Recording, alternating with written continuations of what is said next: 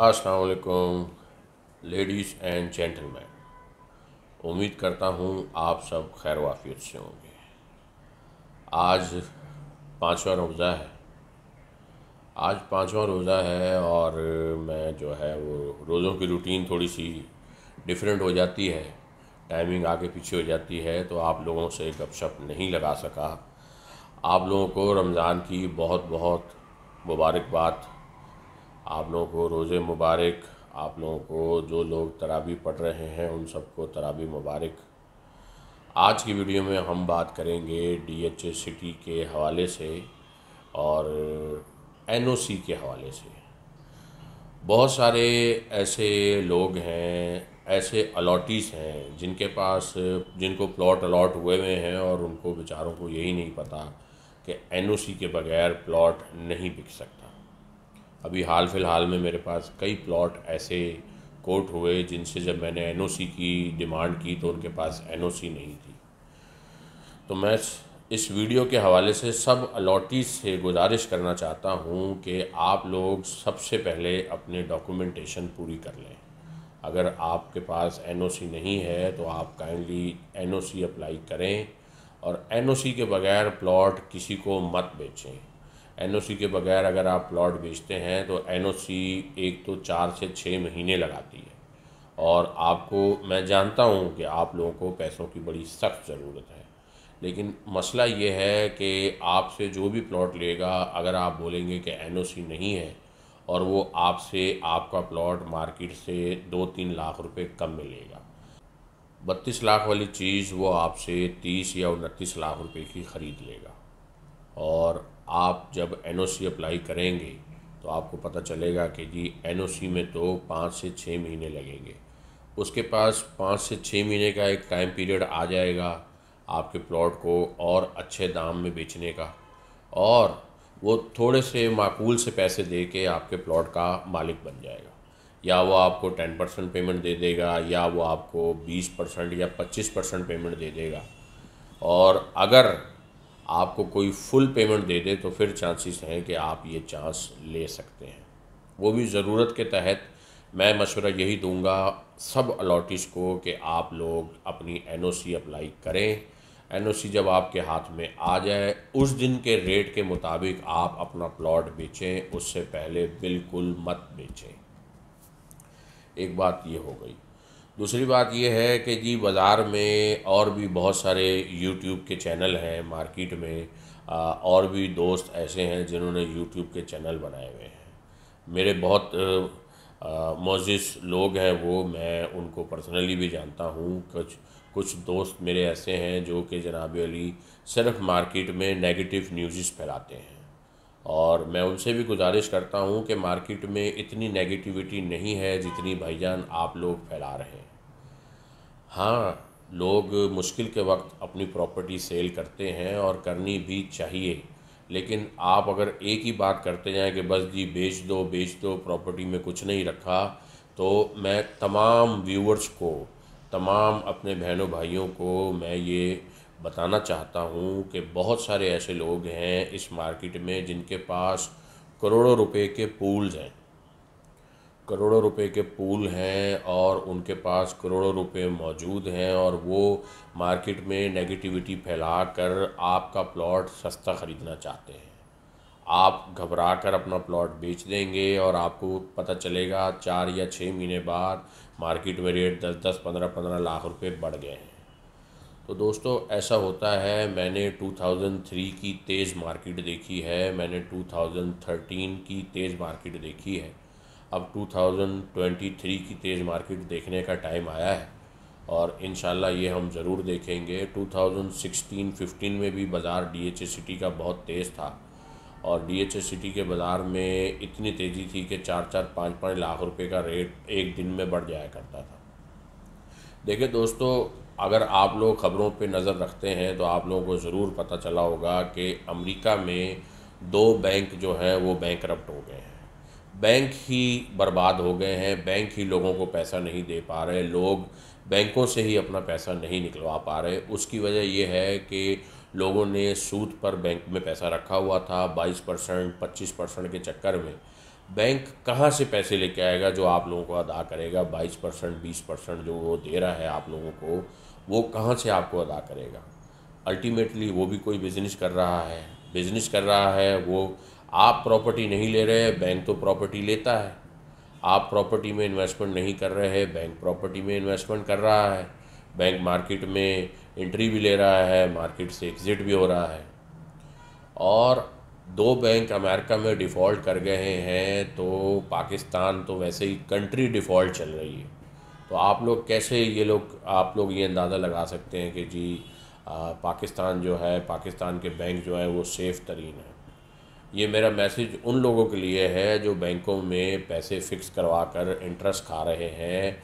दोस्तों, मेरे भाइयों, बहुत जल्दी आप लोग ये वक्त ज़रूर देखोगे कि आपके जो बैंक में पैसे फ़िक्स पड़े हुए होंगे, वो पैसे आप लोगों को नहीं मिलेंगे। अलबत् प्रॉपर्टी एक ऐसी चीज़ होगी जो कि आपके हाथ में होगी और आप उस मुश्किल वक्त में प्रॉपर्टी बेचकर अपना गुजारा, अपना रोज़गार चला सकेंगे।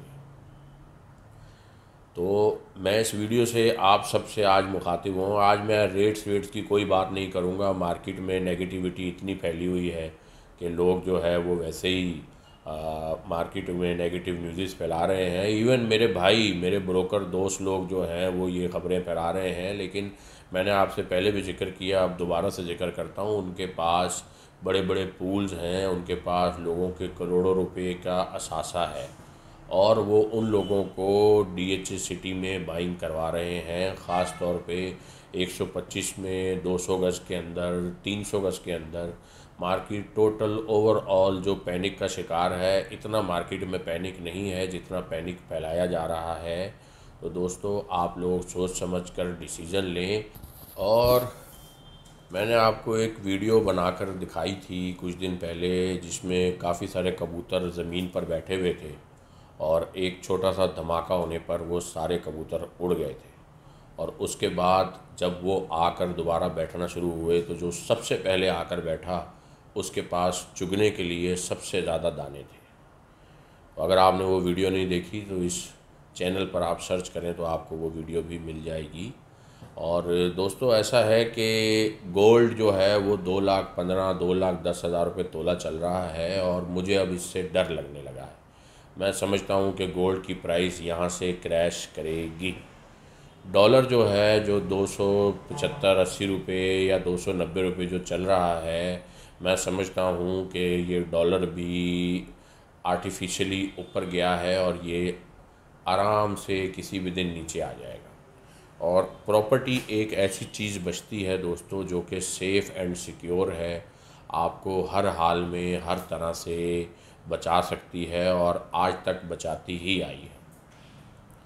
और आप लोग डिसीज़न नहीं ले रहे हैं, इसमें आप लोग अपना नुकसान कर रहे हैं। बहुत सारे दोस्त ऐसे हैं दोस्त अहबाब ऐसे हैं जो कि मुझसे रेट्स पूछते हैं, मुझसे वो चीज़ों, चीज़ें देखते हैं और फिर पच्चीस पचास हज़ार पे आकर रुक जाते हैं। तो मैं उन लोगों के लिए ये अर्ज़ करना चाहता हूँ कि आप लोग पच्चीस पचास पर ज़रूर रुक जाते हैं, लेकिन आप अगर डिसीज़न नहीं लेंगे तो इन मैं बड़ा बोल नहीं बोलता, मैंने अपनी ज़िंदगी में बहुत सारे एक्सपीरियंस किए हैं और बहुत लोगों को पाँच पाँच, सात सात लाख रुपए बढ़कर फिर वही चीज़ लेते देखा है जो चीज़ उनको औने पौने मिल रही थी। तो इन इन आप लोग अभी आप डिसीज़न बिल्कुल मत लें। जिस दिन मार्केट में आग लग जाएगी, जिस दिन मार्केट में दो दो चार चार लाख रेट ऊपर चला जाएगा, फिर आपकी तंगी भी दूर हो जाएगी, आपके पास पैसे भी आ जाएँगे और जो चीज़ आज पच्चीस की, छब्बीस की मिल रही है, वही चीज़ आप सत्ताईस, अट्ठाईस की भी लेने के लिए तैयार हो जाओगे, वही चीज़ आप तीस लाख के लिए लेने के लिए भी तैयार हो जाओगे। तो अभी जो है वो आप लोगों को हर चीज़ महँगी लग रही है। होता ऐसा है, मार्केट की प्रैक्टिस ही ऐसी है। बाज़ार अगर डाउन ट्रेंड में जा रहा हो तो हर कोई ये सोच रहा होता है कि मार्केट और नीचे जाएगी। भाई, ये पच्चीस लाख वाली चीज़ बीस लाख की नहीं होगी।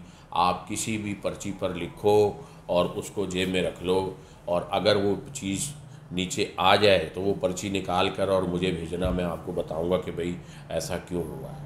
तो ऐसा नहीं होगा। जो पचास लाख वाली चीज़ है वो पच्चीस की नहीं होगी। इतने बुरे हालात इस मुल्क में ना हुए हैं और ना होंगे।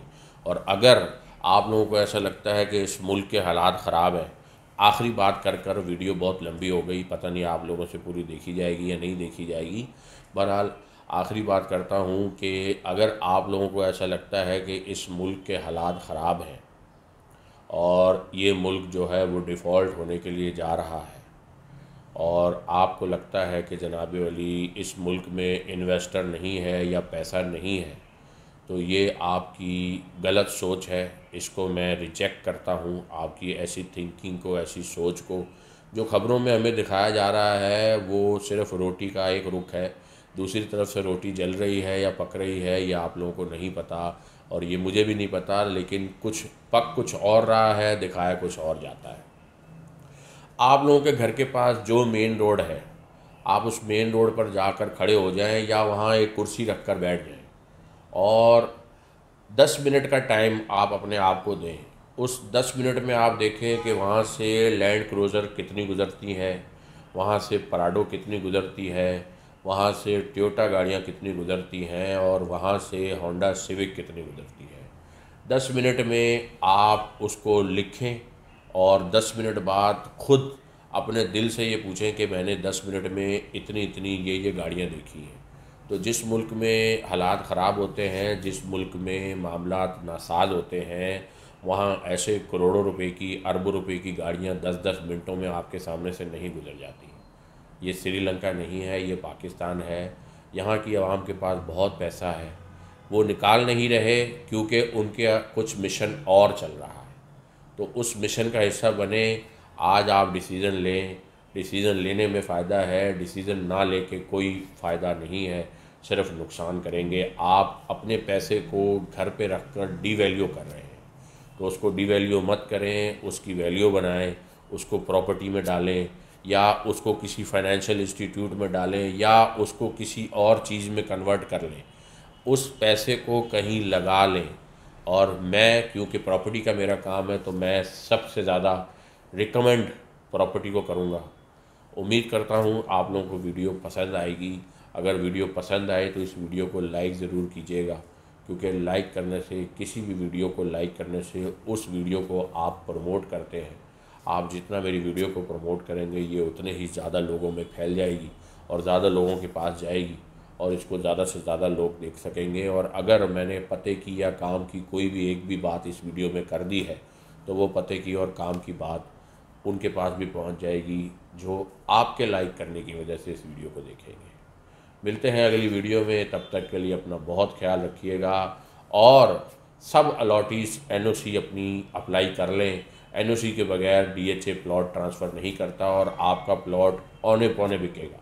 तो अपना प्लॉट औने पौने बेचने की ज़रूरत नहीं है। ये प्रॉपर्टी बहुत मेहनत से, बहुत जद्दोजहद करके हमारे बुज़ुर्गों ने या आपके बुज़ुर्गों ने बनाई होगी। तो आप जनाब वली इस प्रॉपर्टी की कदर करें, इस प्रॉपर्टी की खिदमत करें। अपनी चीज़, अपने दस्तावेज़ पूरे करें, उसके बाद आप इसको फॉर सेल लगाएँ। अल्लाह हाफिज़।